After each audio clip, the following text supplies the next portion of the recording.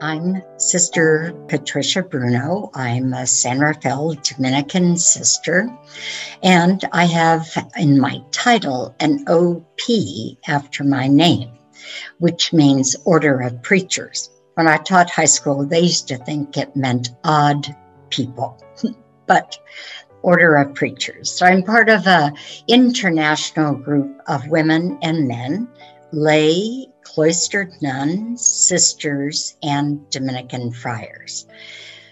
If I speak a little bit about my life, just briefly, I've taught, I've done community organizing, I've done economic development work, work in nonviolence.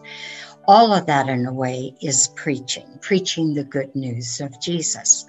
But for probably the last 20 years of my life, I've been a full time preacher. So I preach in uh, churches and parishes and retreat centers. And for me, preaching means you have the scripture in one hand and you have the newspaper in the other. Or the way that I would also express it is if I had a braid going down the back of my hair here, I would have one strand that would be justice and another strand that would be spirituality. Because for me, spirituality and justice is really the preaching that we Dominicans do. So, for the last 20 years, as I said, I've preached in parishes for evening services, at masses, um, to bring the good news to people.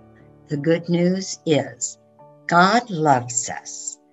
God loves us no matter who we are, no matter where we are.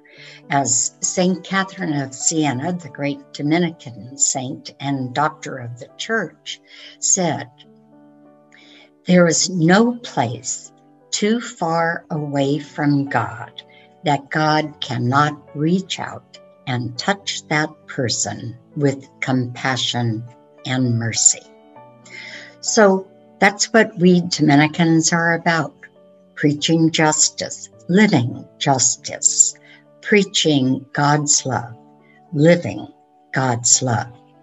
Thanks for taking this time to listen to me today. Blessings.